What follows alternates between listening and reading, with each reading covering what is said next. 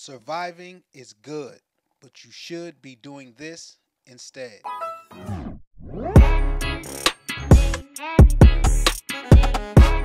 Welcome back to Book 5, the channel that helps you live a more holistic life. This is your man Jay, and today we are going to speak about surviving versus thriving. Okay? Many of us come from environments where it is literally survival of the fittest. So when you're growing up in those environments, you naturally become very good at survival and your survival instincts and uh, all of those things that that you need to navigate that environment are kind of given to you uh, by being raised in that environment, whether that be through parents or older people who um, you know um, help raise you or just trial and error right? You make a mistake in certain survival environments and you know you can't come back from those mistakes.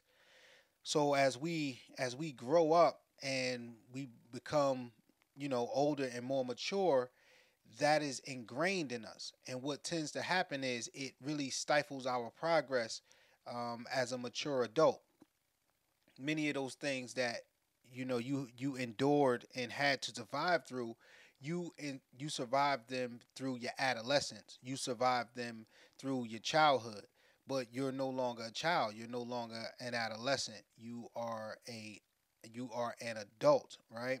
And you hold on to those certain survival instincts but those survival instincts are short-sighted.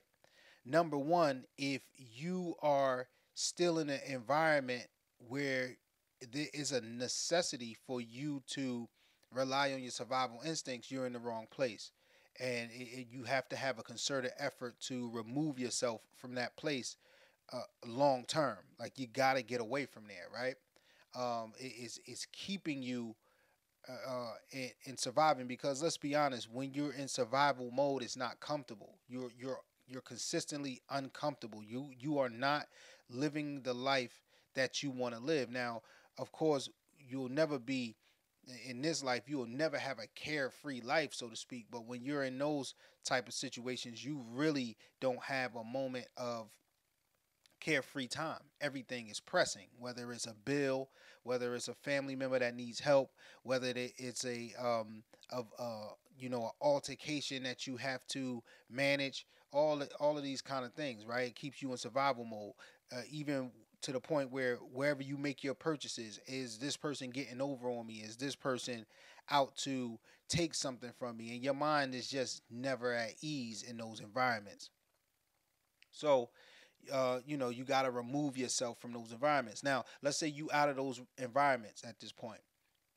How do you know that you are living uh, a survivor's life as opposed to a, a thriving person's life? Okay, well, if you live in paycheck to paycheck, you're in you're in a survivor's lifestyle where you literally get your money and all you can do is pay for you know your essentials and then you don't have wiggle room for enjoyment. Uh, and even if you do enjoy yourself with some of your earnings then you have to do that at the expense of something vital. And now you're behind and now you're playing catch up next week and you know you know how it goes right? So you're living in you know you're living in a survivor's mind uh, uh, well you're living in a survivor mode and still you know have to employ the survivor's um, instincts.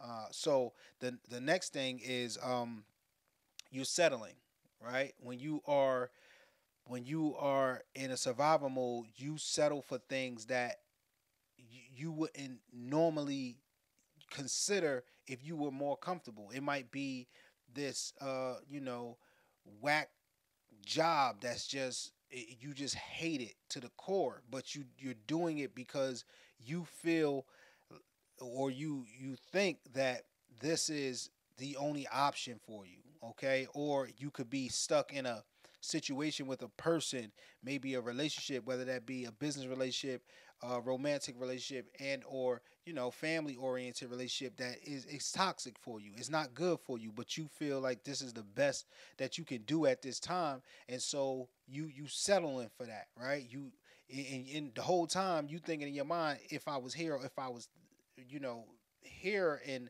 this particular aspect of my life, I wouldn't even be dealing with this. So you in a you have a like a settle, you have a a, a settling uh, mentality because you in, you in survivor mode. Another thing is, um, uh, you you are literally a professional survivalist at this point, right? And it's just hard for you to break those break that mentality and what you tend to do is you take opportunities and then you sabotage them to put you back in that mode because that's really your mode of uh, comfort. That's what you know, and you know that you don't have to get on a learning curve to live a different type of life. However, all of that's all well and good and it do it does define character and it builds strength and it you know and it gives you an edge on uh, many people out here because uh, you know a lot of people they just don't have that. They don't have that perspective and they wouldn't know how to survive uh, uh you know um, with the bare minimum if you paid them to right? So all of those things are all good. However you got to switch your mind state to a thriving mind state. We are not we are not meant to be here surviving okay? We are supposed to be living a thriving life and that's thriving in all areas of your life right? And that's you know that's why on this channel i try my best to give you different perspective on different aspects of life to you know just shape them up. You you really don't need uh, a bunch of um, hardcore changes. It's just some basic fundamental principles that if applied your life just gets a hundred times better